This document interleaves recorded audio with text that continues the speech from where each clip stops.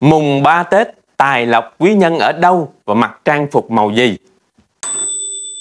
Quảng Tòng chúc anh chị em một năm mới thật hạnh phúc, thật may mắn và thật nhiều thuận lợi trong năm 2024 này. Ngày mùng 3 Tết, đó là ngày Bính Ngọ.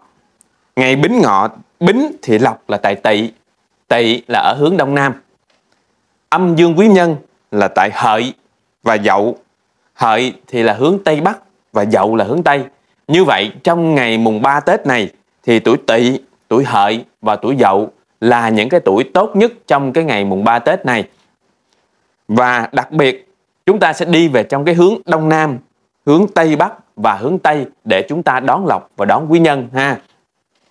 Tiếp theo là về phần trang phục của ngày mùng 3 thì chúng ta sẽ chọn trên cái sự hài hòa giữa ngũ hành của ngày và cái ngũ hành của mệnh chủ. Đối với anh chị em mà ngũ hành là hành kim thì chúng ta sẽ chọn màu trắng, màu đen, màu xanh đen, màu xanh lá, màu xanh, màu vàng, màu nâu đất. Anh chị em hành thủy thì chúng ta sẽ chọn cái trang phục là màu đen, màu xanh đen, màu trắng, màu đỏ, màu tím, màu cam, màu hồng. Anh chị em mệnh mộc thì chúng ta sẽ chọn màu đen, màu xanh đen, màu xanh lá, màu đỏ, màu tím, màu cam, màu hồng. Anh chị em hành hỏa thì chúng ta sẽ chọn màu đỏ, màu tím, màu cam, màu hồng, màu vàng đậm, màu nâu đất, màu trắng.